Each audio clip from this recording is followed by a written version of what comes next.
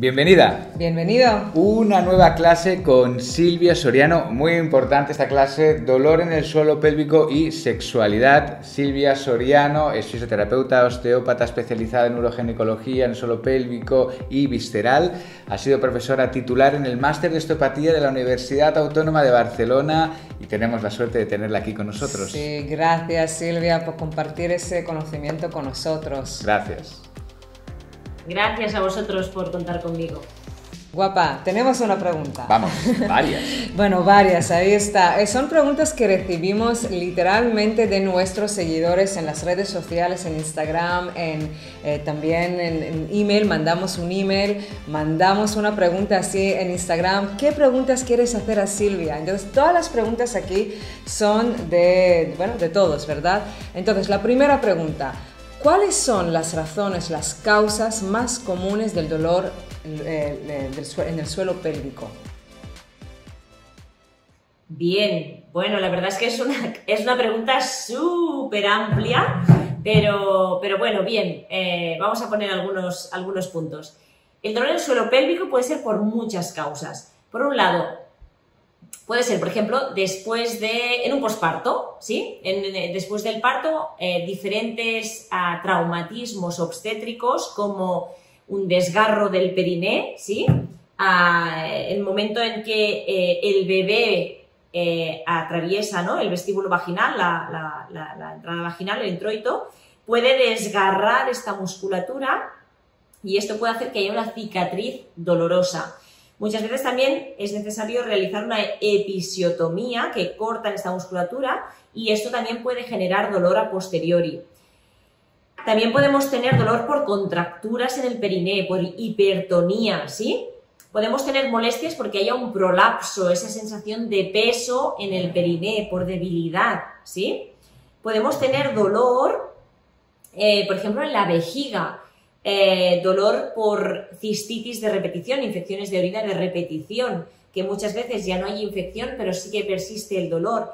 Podemos tener dolor por alteraciones en la mucosa vaginal, en la menopausia, por atrofias vaginales, por sequedad en la mucosa, eh, por procesos dermatológicos como el líquen, que es una patología habitual o clásica en la, en la piel, en la mucosa de la vagina, por endometriosis, el dolor menstrual, que no es normal, no deberíamos tener dolor, también se podría contemplar como dolor en la zona eh, pelviperineal, ¿sí? Eh, también alteraciones más eh, colorectales, ¿no? Eh, desde hemorroides, que son unas varicosidades, son varices en la zona del esfínter anal y en el recto, a prolapsos rectales, a anismo, que es contractura ¿no? en, la zona del esfínter anal, un vaginismo, que es una contracción involuntaria de la musculatura vaginal frente a la penetración.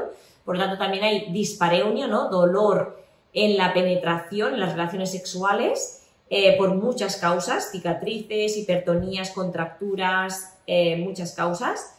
Ah, también pueden haber dolores por lesiones, eh, por puntos gatillos musculares, ah, dolores perineales por una alteración del nervio pudento, que es el nervio que inerva toda esta zona pélvica, ¿sí? Eh, y el nervio pudendo se puede lesionar, pues, por ejemplo, por traumatismos obstétricos, por una fractura pélvica, por una caída, por sedestación prolongada, ah, por, bueno, por muchas causas. Em, por alteraciones mecánicas en la pelvis, sabemos que el suelo pélvico es la musculatura que tapiza la zona inferior de la pelvis, por tanto, cuando haya una descompensación pélvica abdominal, lumbar en la columna, podría verse afectado también algún dolor perineal o dolores en la articulación sacrococcígea, sacroilíaca, ¿sí? Y luego también todo esto son causas de dolor bueno, y obviamente patología ginecológica, ¿no? Miomas, endometriomas, eh, cualquier tipo de patología más orgánica, ¿no? Eh, de las vísceras que, encontramos en la pelvis menor. Y luego también tendríamos que hablar, o al menos os quiero comentar, ¿no? Dolores por sensibilización central, ¿no? Que son por alteraciones a nivel central de estas vías del dolor, donde quizás no hay un daño en la estructura, eh, pero sí que hay una alteración de esta información, ¿sí? De esa transmisión nerviosa y de esta ah, interpretación, ¿sí? A nivel de sistema nervioso central. Eh, y seguro que con esto me he dejado muchísimas causas de dolor, ¿eh? pero os he querido hacer así como un poquito un abanico de posibilidades eh, que seguramente he dado luz a, muchas, a muchas cosas, ¿eh? pero, pero bueno, os dejo que me sigáis preguntando, que si no...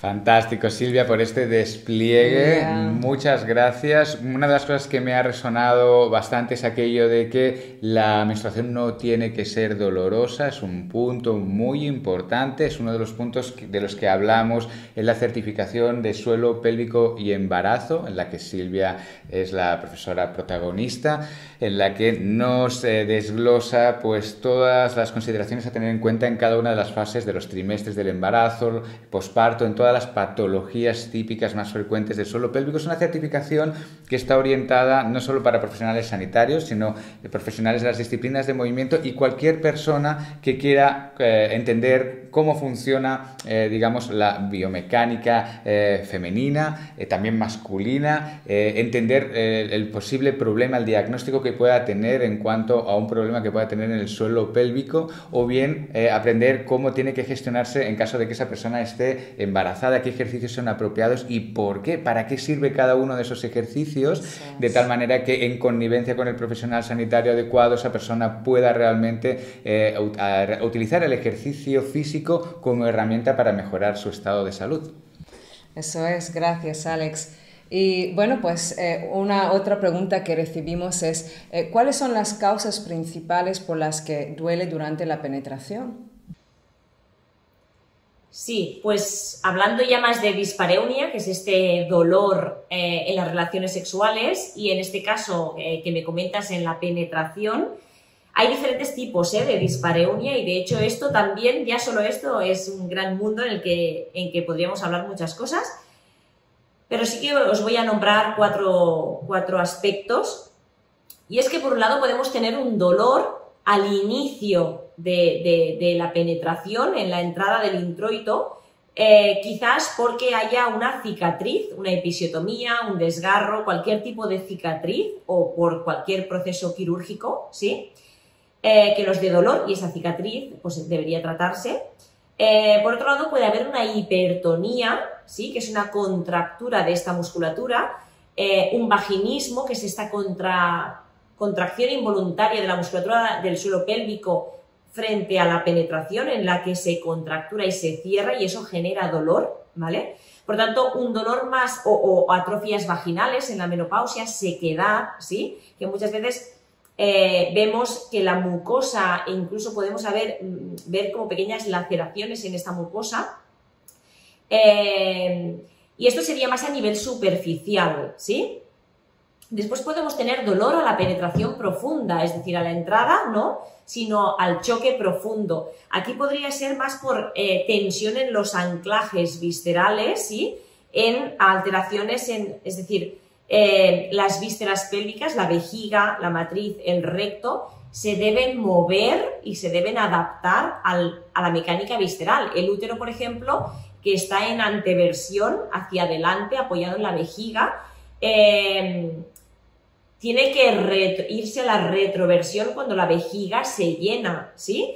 Cuando el recto se llena de heces, el útero se anteversa, ¿sí? Cuando los dos, las dos vísceras vejiga y útero están llenos, el útero se verticaliza, por tanto las vísceras se mueven para permitir su propia fisiología pues cuando hay la penetración, este impacto, también estas vísceras deben de adaptar, esta amortiguar este movimiento. Muchas veces cuando hay cicatrices internas por cirugías pélvicas, laparoscopias, cesáreas, ah, histerectomías en las que extirpan la matriz, eh, cirugías de endometriosis, adherencias pélvicas, eh, antecedentes de ah, infecciones de orina recidivantes, de candidiasis, eh, hay, determinadas patologías que pueden generar adherencia en ese tejido visceral, ¿no? Y esto puede generar dolor a la penetración.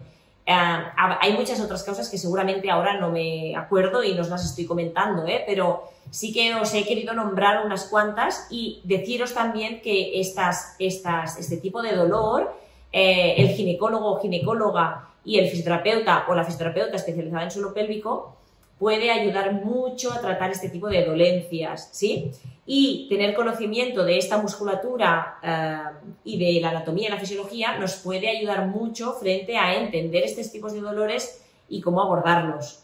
Muchas gracias Silvia, la verdad que es muy interesante todo lo que nos estás contando. Sí, muchísimas gracias. Otra pregunta que nos hicieron es eh, sobre tu opinión de cómo, crees, qué opciones hay para poder abordar la sequedad, el dolor, en cuanto, sobre todo en la menopausia, qué se podría hacer, qué opciones hay. Pues bien, gracias porque esta también es una pregunta interesante que pienso que puede ayudar a muchas mujeres, porque también es cierto que, por un lado, la sexualidad en la mujer ah, madura, ¿no? la mujer adulta, no se habla mucho y es, y es bueno que, exista esta salud sexual en la mujer y que sea placentera y que sea eh, pues correcta, ¿no? Eh, y es bueno que hablemos de esto. Sabemos que en la, menopausia, eh, cuando, cuando esta mujer atraviesa esta última fase, ¿no? digamos, de, este ciclo menstrual, hay un declive, una bajada estrogénica y los estrógenos lo que hacen es mantener este grosor, este trofismo a nivel de, de, la mucosa vaginal, ¿sí? Con esto conlleva que eh, después de la menopausia la mujer pueda presentar sequedad vaginal, por tanto déficit en esta lubricación de esta mucosa, dolor, sequedad, molestias, picor, a veces hasta pequeñas heriditas en esta mucosa y por lo tanto dispareunia, dolor a la penetración, ¿no? Eh, ¿Cómo podemos hacerlo? Pensad que cuando hay este, este déficit estrogénico hay una ligera ah, atrofia progresiva de este ah, aparato genital en la mujer. Esta atrofia en nosotros la podemos compensar. Eh, siempre digo que el cuerpo no permite que se atrofie aquello que utilizamos. Por lo tanto, por un lado, primer punto, tener conciencia de la anatomía y fisiología de esta musculatura, ¿sí? Eh, saber ejercitar correctamente la musculatura perineal, si hacemos ejercicios de Kegel, ¿sí? Contraemos y sabemos activar correctamente esta musculatura perineal, evitamos que se atrofie, ¿sí? Y si evitamos que se atrofie, enlentecemos el proceso natural de esta atrofia de esta mucosa. Por tanto, hacer, eh, ejercitar esta musculatura. Eh, podemos utilizar cremas para hidratar esta mucosa, ¿sí? Eh, podemos hacer masajes en esta zona vulvar para elastificar este tejido. tomar conciencia de la pelvis, de su postura, de las sinergias musculares, del abdomen, del periné, de la espalda, de los glúteos, ¿sí? Por tanto, eh, ejercitar y trabajar esto juntamente con alguna pauta quizás eh, farmacológica, de cremas, de óvulos, eh, para, ayudar a, esta, a esta hidratación de esta mucosa y así evitar el dolor, sobre todo en las relaciones sexuales. Muchas gracias, Silvia, muchas gracias. Y como última pregunta, ¿es posible revertir la hipertonía y la hipotonía en el suelo pélvico? Pues sí, la verdad es que primero hay que saber diferenciar, ¿no? Y que, realmente un, profesional sanitario nos valore si realmente hay una hipertonía o una hipotonía. La hipotonía es la debilidad, así hablando a grosso modo, la hipertonía es un exceso de tono en esta musculatura perineal. Y sí, la verdad es que la hipotonía podemos trabajarla con ejercicios específicos de la musculatura perineal eh, y de todo el complejo abdomino lumbo pélvico. Ah, también con eh, reforzando, ¿no? Con vibradores, con vibración, eh, con determinada aparatología que utilizamos en consulta, ¿no? Con diatermia y determinados eh, aparatos que ayudan a regenerar esta musculatura y a darle este tono, este aumento de tono, con electroterapia y demás, ¿sí? Pero sobre todo con ejercicio específico. y la hipertonía, que este, es este aumento de tono sobre todo importante es aprender a, tener este control, este esquema corporal sobre esta musculatura, saberla contraer, pero también importantísimo saberla relajar, ¿sí? Eh, tener control sobre, sobre este, este, este grupo muscular, saber qué ejercicios y hacer pausas largas para relajar esta musculatura, saber qué ejercicios hacer y cuáles no, y luego otras técnicas de masaje perineal, a determinadas aparatologías de electroestimulación, de, bueno, de, de, diatermia para relajar, sí, hay, hay otras, otras técnicas que podemos utilizar, pero sí que ser conscientes y saber utilizar correctamente esta musculatura es, es importante frente a esto. Mm. Qué bien. De nuevo, de nuevo, gracias Silvia, porque creemos que es de gran utilidad todo este conocimiento para todas esas personas que están interesadas en adquirirlo, que tienen problemas, que tienen dudas, cuestiones, necesitan información. Así que, bueno, gracias de nuevo por estar con nosotros. Muchísimas gracias, Silvia. Bendiciones. Gracias a vosotros, un placer.